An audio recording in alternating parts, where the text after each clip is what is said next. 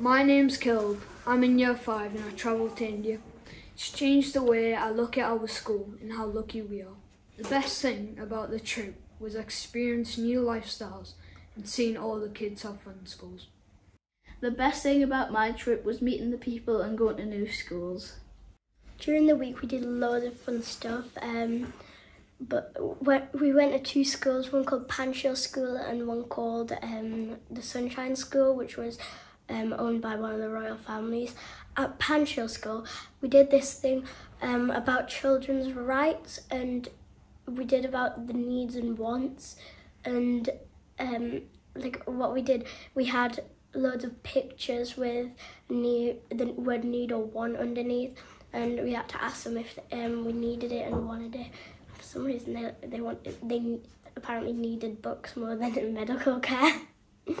and we visited Sunshine School. There wasn't any technology in most of the classrooms were like just had a few children in and had one teacher, same with the chalkboard. But um, in India, the classrooms are separated to genders. So like um, men were in one class and girls were in the other class. But if they were in the same class, they were on different sides. So men would be on this side and women would be on this side and things like that, yeah.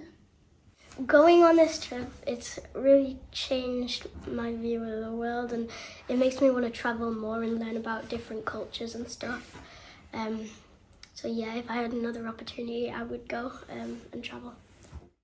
If there was another school that wanted to take them to India and didn't have the funding yet, I would say take them because it opens up their eyes to a different world and you see different things that are great, not just for the children, for the adults as well. If there was a school wanting to take the kids away on a trip funded by the Turing scheme, um, take them away because it's a great opportunity.